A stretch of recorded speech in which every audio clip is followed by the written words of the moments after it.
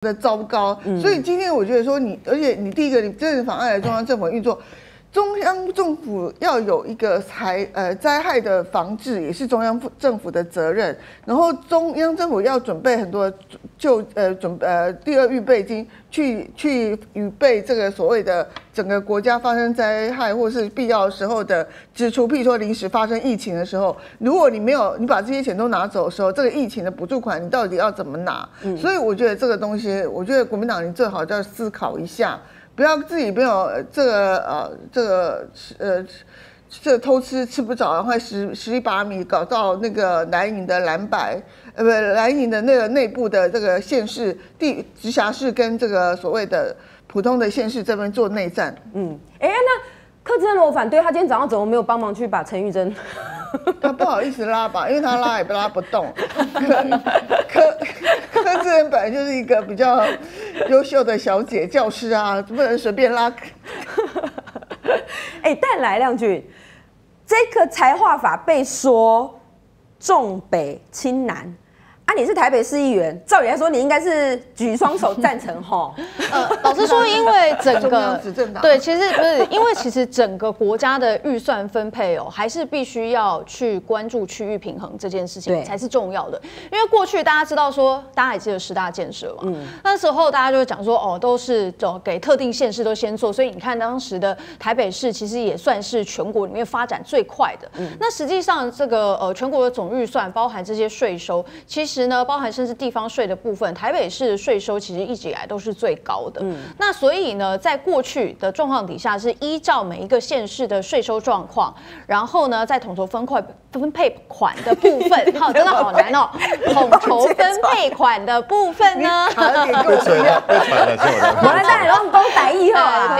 台一台北大头头。那所以就会依照说每一个县市的呃财政状况，然后来去做横平，那尽量在每一个县市的。这个建设经费上面都能够有得到差不多的待遇嘛？那因为你台北市本来税收就多，地方税收就多，那来自于中央的这些分配款，照理来说本来比例就会比较少。那其他的县市，譬如说，呃，可能以农业为主的这些县市来说，它的税收地方税收可能就没有那么多。那如果是这样的状况底下，它需要中央更多分配款的益助，才能说让他们在地方建设上面，不管是交通建设或者是一些道路民生等等的，可以来去做。提升，所以这个重要的还是整个国家的集体成长发展，而不是单一个哦，我只重视台北市，我只重视某个县市，这是不对的。所以这才有这样子的一个分配。那你看说现在国民党提出来，他当然就是现在。包含自己高雄柯志恩接下来要选市长嘛，所以他在为高雄抱不平嘛，所以就可以看出来说蓝白现在所提出的这个财划法，第一个是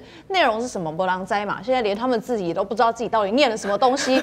哦，对，然后再来呢，就是说到底实际上财划法里面到底包含垂直分配跟水平分配，到底要怎么去处理？为什么这一次行政院没有提出来？是因为确实在这个水平跟垂直分配上面，其实都有太多太多的细节跟问题要去讨论，对，他没有办法。在现在，因为很多人质疑啊，就说，哎，如果行政院哈认为或执政团队认为蓝白现在提出来版本有问题，你为什么不提出对案？嗯，可是实际上是因为这实在是太复杂，牵涉的非常非常的广，没有办法在第一时间，我为了要去应应你蓝白所提出来这些烂案子，甚至是我根本不知道内容是什么，我草率的行政院去提出另外一个对案来跟你一起审，那我觉得这也是一个很不负责任的做法嘛。那所以。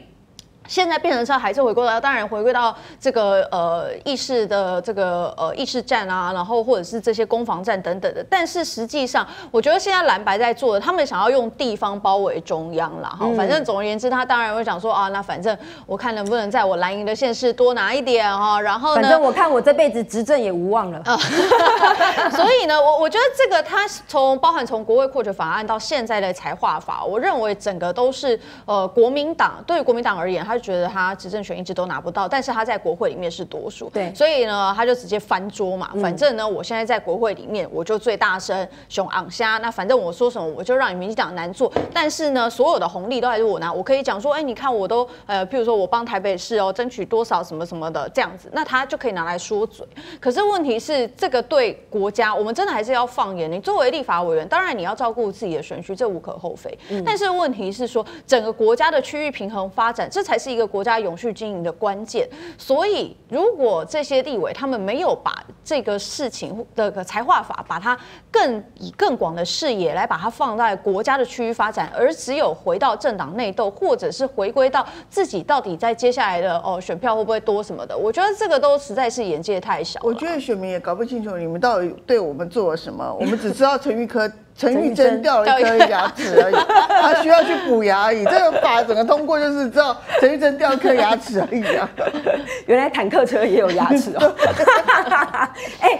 但亮君，你早上看到那个画面，他现在还有一个问题，就是在于现在民进党在抗议的是蓝白根本不按照议事规则走。如果你真的觉得你拿出来的法案是对的。那你为什么要用这种有点像是快闪的方式，三分钟就送出？其实这个这个跟上一次国会扩权法案其实是一样的意思吧？其实是一样的意思啊，就是说跟那个半分钟一样。对对对，跟那个服贸协议在做审查的时候，其实是一样的意思，就是说你在实质讨论，他都会讲。其实现在国民党当然拿出来讲，我看他们的图卡都写说，哦，我们已经这个哦讨论两百五十分钟啊，然后几番人次啊，然后民进党的人也都有上去讲。如果大家昨天其实现在都有直播了哈，所以你去看国会频道或昨天的国会直播的话，就。看每一个委员上去讲话的时间非常有限，而且讲完之后呢，这个作为招委主席的陈玉珍呢，又要再评论这个委员的呃发言，又要评论个两三分钟。所以总而言之，就是它并不是一个在政策上面有效的一来一往针对实质的内容去做讨论。因为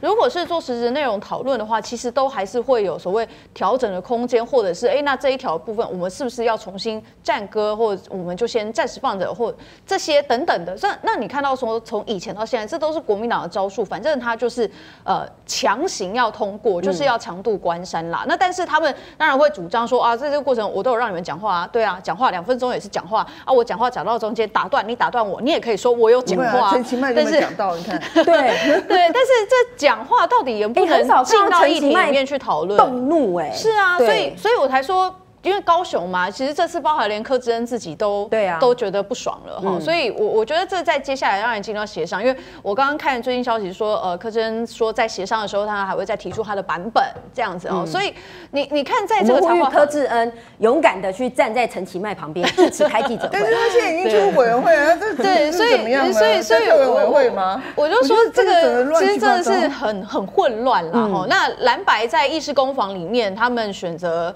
呃用车轮战，然后。用这种强行通过的招数，我觉得以人民来说，上一次国会扣卷已经经历过一次，更不要说十年前的这个呃三一八学运哦，大家都已经经历过，你们的这些招数大家都已经看破手脚了。但是我必须说，财划法这件事情，或许对一般的民众真的是会搞不太清楚，因为国会扩权法案比较好讲，因为它涉及到一般人民或企业等等。对，那呃这个服贸协议它涉及到整个台湾未来的产业跟经济发展。那在财划法的部分呢，我觉得这个当然还需要一点时间持续。让社会知道这个议题的内容，但是确实修法，因为按照蓝白的速度，他们就是要抢时间，对，然后要想办法哦，就快速通过。所以这个接下来我们要持续跟社会沟通，让大家知道说财报法到底在吵什么，这个事情其实也是非常重要的。好，来这个导播帮我跳一下第一张图卡。